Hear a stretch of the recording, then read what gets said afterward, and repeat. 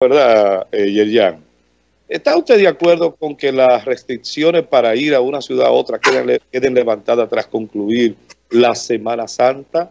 Esa es la pregunta del día. Bueno, ¿Eh? bueno, bueno sí, sí, sí, así es, así es. Bueno, eh, mientras arreglamos un poco acá todo el guion por una serie de circunstancias, vamos a escuchar el tema de Francis. ¿Qué le parece? ¿Eh? adelante. Gracias. Miren, es evidente que la República Dominicana, como el mundo, ha estado embarcado en una situación de inesperada y de hecho nadie eh, ha reportado haber estado preparado. Por lo pronto en esta zona eh, de Occidente. Y verdaderamente que las medidas a tomar por el Estado han sido un tanto duditativas. En principio, la de no causar eh, temor, la de manejarse como si se estuviera control o haciendo aparentar que se tenía el control de que para la República Dominicana el impacto sería mínimo. Y ustedes lo recuerdan cuáles han sido las distintas medidas. Hasta que se tomó o que se anunció la solicitud presidencial del estado de sección. En ese estado de sección sabemos que se ha hecho de todo cuanto ha podido hacer el sistema de salud, pero paralelamente se han aprovechado algunos actores políticos y ya sabemos de los escándalos de compra basado en el estado de sección y en la, y en la facilidad del Estado comprar o contratar sin mayores restricciones que establece la ley 340 sobre compras y contrataciones. A todo esto es de, se habrá de pensar la insensatez y la falta de respeto a una situación por la que está pasando el pueblo dominicano por parte de esos aprovechados, engrampados en, en aras, en parte del poder, para con ello el dinero del pueblo, malversarlo, estruparlo, es decir, violarlo, robárselo de una forma indirecta a través de compras que son legales, qué sé yo, y que el estado de sección le quitan los ribetes de la de la obligación de hacer concurso o compras y contrataciones e intervenir. Con el perdón tuyo, Francis, hay un retorno de tu, de tu voz. Parece que alguien tiene un televisor. Eh, por favor. yo déjame bajar eh, un poquito. Ya. ¿Eh? Continúa, continúa. Sí. Entonces, a todo esto, las, las medidas que se han podido tomar no corresponden a las expectativas. En razón, y le doy la razón a Leonel Fernández que ayer hizo un, eh, publicó un artículo y habla de este tema y de la falta de pericia o de astucia al tomar decisiones por parte del Estado y su forma duditativa, porque ha tenido que asumir que en principio el, las pruebas se harían a través de, de, un protocolo afectando al resto de la nación. Y se supone que en calamidad pública y en lo que se refiere al derecho fundamental de la salud, en estos momentos de calamidad pública o de, o de problema de salubridad nacional, no puede haber restricciones ni puede haber discriminación entre un ciudadano y otro. Eso pone en riesgo más aún a la población cuando el Estado se ha debatido en si toma la decisión de darle oportunidad o de ejercer como Estado el control de las pruebas, de ejercer como Estado el control de las pruebas o dejarlo al sector privado o en este caso, como lo dije ayer, a un candidato, que es el que ha llevado las pruebas, la que el que ha conseguido las pruebas primero que el Estado, porque el domingo el propio ministro dijo que el Estado no había adquirido pruebas. Oye, esto, eso es peligroso.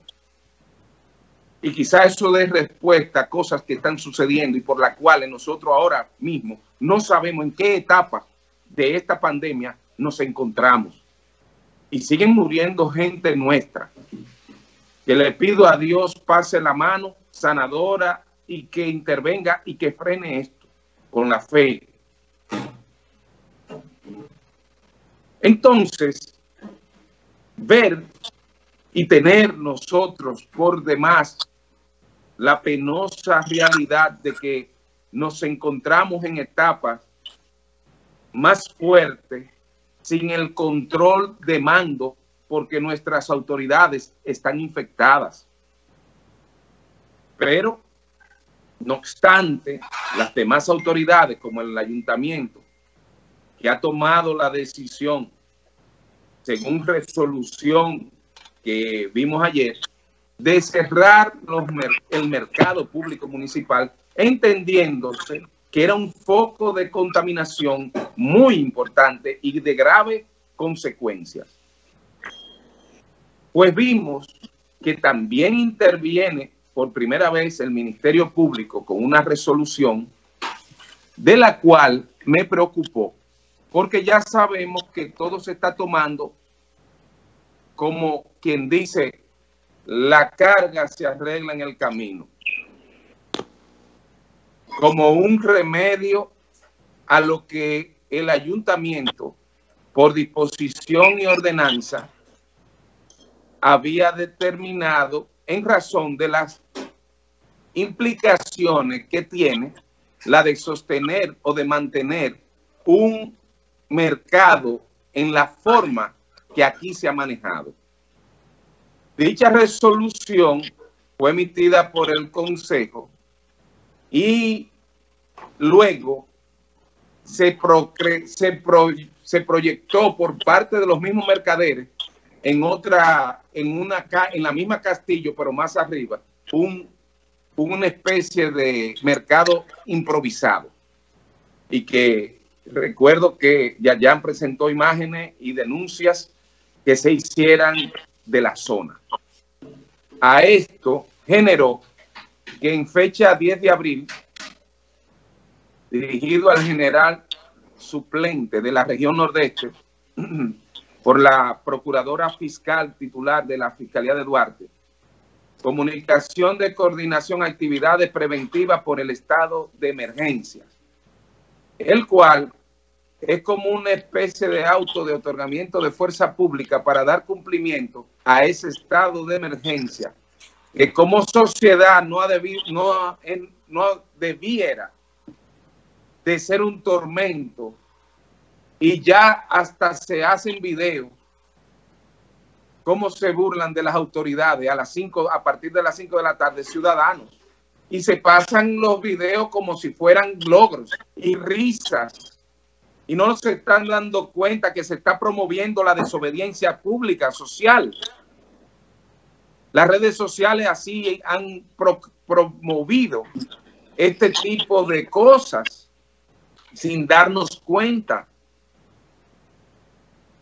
Entonces, a lo que me voy a referir con respecto a esa ordenanza de la, a esa instrucción que hace el Ministerio Público, quien, según la ley 392 de fecha de septiembre del año 2019, del 396-19, quien es el órgano que puede otorgar fuerza pública, pero la misma ley le restringe y le dice en qué caso, como la de conservación o de ejecución forzosa producto de una decisión de un juez que a la vez tenga que ver con decisiones también del abogado del Estado y que no tengan estos recursos posteriores o que no sean susceptible de recursos de suspensión. Es decir, que es de conservación y de ejecución. Y en aquellos casos, ¿a dónde quiero llegar? La improcedencia de actuación que prácticamente es una actuación o una procedencia política administrativa. Pero legalmente, el ayuntamiento, si se ha visto impedido de que su ordenanza se vea ejecutar conforme al interés de la pandemia o de la emergencia, ha debido solicitar la intervención de la fuerza pública a través de un ministerio que debe de disponer la misma disposición que ministerial le va a acompañar. En esto, Amado tiene bastante experiencia, más que yo.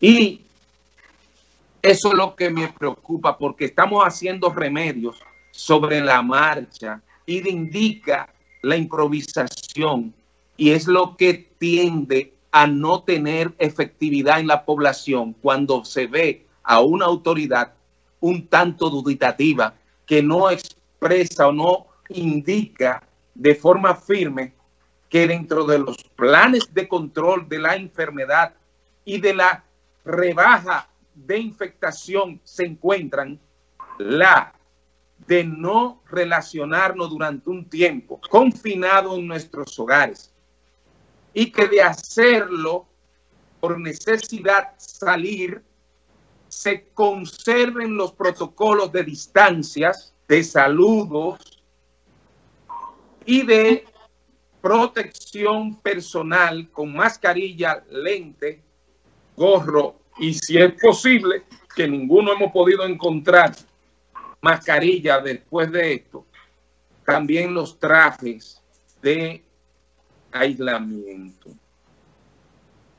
Todo esto, mi crítica, es para que en el futuro no se continúe tomando medidas a la ligera o de forma duditativa, como lo he nombrado, para que se mande un mensaje de más firmeza y de mayor control en esta etapa de nuestra vida.